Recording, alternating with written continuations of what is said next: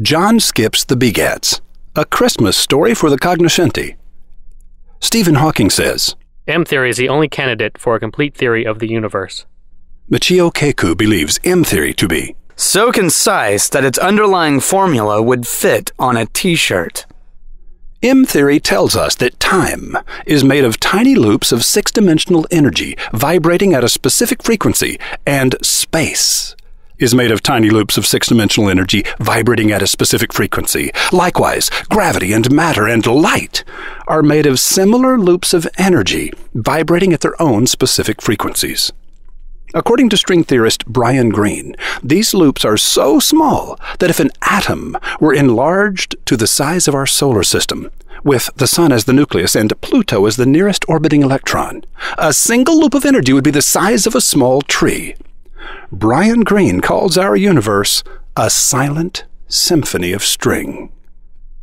So if Hawking, Kaku, Greene, and all the other string theorists are correct, you're no longer silly to see our space time continuum as the continuing echo of the voice of God. In the opening chapter of Genesis, the only information we're given about the creation of the universe is that God said, Let there be light, and there was light. And God continued to say this and that, and things continued to appear. God spoke our universe into existence. Scientists call that moment the Big Bang. Later in the book of Isaiah, we read, My thoughts are not your thoughts, neither are your ways my ways, declares the Lord. For as the heavens are higher than the earth, so are my ways higher than your ways, and my thoughts than your thoughts. For as the rain and the snow come down from heaven and do not return there, but water the earth, making it bring forth and sprout, giving seed to the sower and bread to the eater, so shall my word be that goes out from my mouth. It shall not return to me empty, but it shall accomplish that which I purpose, and shall succeed in the thing for which I sent it. And in the next verse, immediately after God says that His word, quote, will succeed in the thing for which He sent it, He makes a promise to His word. For you shall go out in joy, and be led forth in peace. The mountains and the hills before you shall break forth into singing, and all the trees of the field shall clap their hands. Later in the book of Hebrews, we read, For the word of God is living and active, and no creature is hidden from his sight. But all things are naked and exposed to the eyes of him. I was fascinated that the writer of Hebrews declares the subject of that sentence, quote, the Word of God, to be alive, and refers to it as Him. But when we go back and read the opening sentence of chapter 1, we see it plainly written. In the past, God spoke to our ancestors through the prophets at many times and in various ways. But in these last days, He has spoken to us by His Son, whom He appointed heir of all things, and through whom also He made the universe. So, what does this have to do with the Christmas story? Ah, I'm glad you asked. In the second chapter of the Good News of Luke, we read, And there were in the same country shepherds abiding in the field, keeping watch over their flock by night. And lo, the angel of the Lord came upon them, and the glory of the Lord shone round about them, and they were sore afraid. And the angel said unto them, Fear not, for behold, I bring you good tidings of great joy, which shall be to all people. For unto you is born this day in the city of David a Saviour, which is Christ the Lord. And this shall be a sign unto you. You shall find the babe wrapped in swaddling clothes, lying in a manger.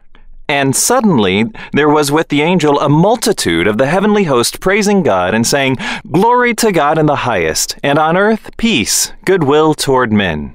And then in the first chapter of the Good News of Matthew, we read that Abraham begat Isaac, and Isaac begat Jacob, and Jacob begat Judas and his brethren. And these begats continue for 39 more generations until we get to Mary and Joseph and. There came wise men from the east to Jerusalem, saying, Where is he that is born King of the Jews? For we have seen his star in the east, and are come to worship him. But John skips the begats. John doesn't look toward Bethlehem, but casts his gaze back to when God spoke the universe into existence in Genesis chapter 1. John's Gospel, his good news, begins thus In the beginning was the Word, and the Word was with God, and the Word was God. The same was in the beginning with God. All things were made by him, the Word. And without him was not anything made that was made. John recalls that God spoke a universe into existence. His living word went out from him and accomplished that which he purposed and succeeded in the thing for which he sent it. A few verses later, John says, And the Word was made flesh and dwelt among us. Wow. Think of it. Each of us is the father and mother of his words. Our words exist altogether within us but they also go out from us and reveal us. For we are made in the image of God, an echo of Him. And He gave us free will, the ability to look Him in the face and say, No. Wow. The living force that went out from God continues to echo as the space time continuum. The book of Acts goes so far as to say, In him we live and move and have our being. And now we return to that opening chapter of John's Gospel, where he tells us plainly, He was in the world, and the world was made by him, and the world knew him not. He came unto his own, and his own received him not.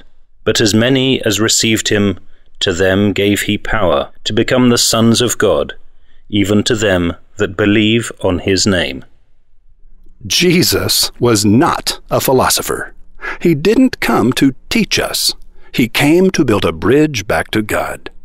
He didn't need our help and he didn't need our permission. And what he said to his friends when it was finished was, Go tell the good news. Merry Christmas. Roy H. Williams. Then I saw heaven wide open, and before my eyes appeared a white horse, whose rider is called Faithful and True, for his judgment and his warfare are just. His eyes are a flame of fire, and there are many diadems upon his head. There is a name written upon him known only to himself. He is dressed in a cloak dipped in blood, and the name by which he is known is the Word of God. Revelation 19, verse 13.